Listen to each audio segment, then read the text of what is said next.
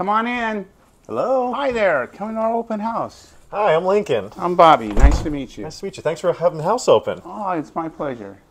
Well, can you show me around? Yeah, let's take a look. I want to show you probably the best feature.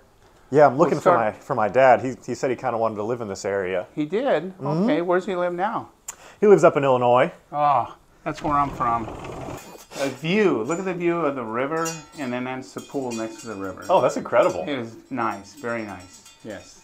Lincoln, look at the beautiful uh, decor in here. Everything matches really well. Oh, I- I think the sellers did a great job. You match. And and another function that for ease is the washer and dryer is right here, so they can be cooking, doing whatever they need, and still be getting their laundry done at the same time. Yeah, that's awesome. Yes, it's great.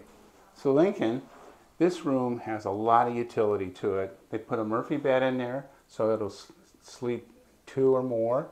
Um, they have a desk. If you have office, you got a place to work, and then you have a lot of open space if you have other projects or you're entertaining that you want to work with. That's awesome. If you're selling or you're buying or moving right away, the Ellis team can help you. Call the Ellis team today.